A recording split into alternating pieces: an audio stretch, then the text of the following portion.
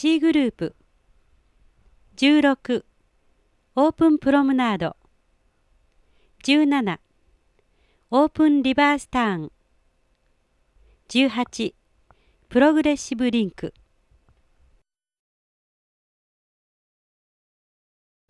19フォーラウェイプロムナード。20オープンプロムナード。21アウトサイドスイブル。22プロムナードリンク。23ファイブステップ。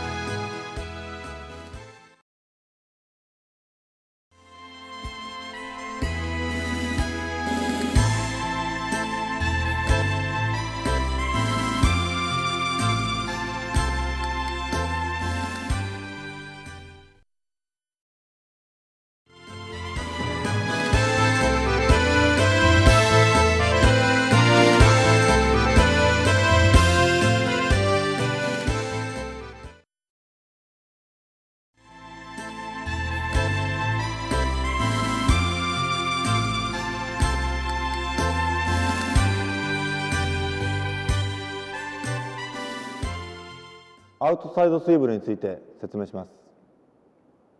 オープンプロムナードを踊るときには男性は女性を押さないように気をつけてください。またアウトサイドスイブルでは女性は右足の上でスイブルアクションを起こしますがその時体が開きすぎないように気をつけてください。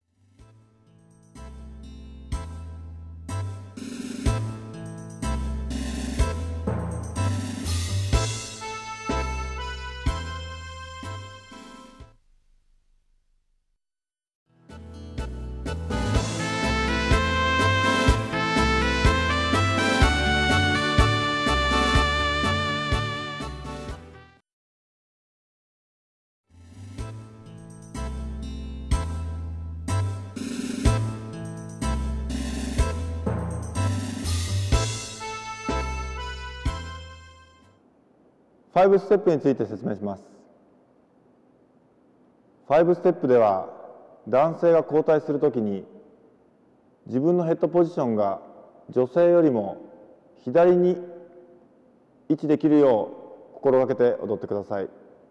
また女性はプロムナードポジションに開くときにボディ全体が開いてしまうのではなくつま先と顔の向きだけを変えるように心がけてください。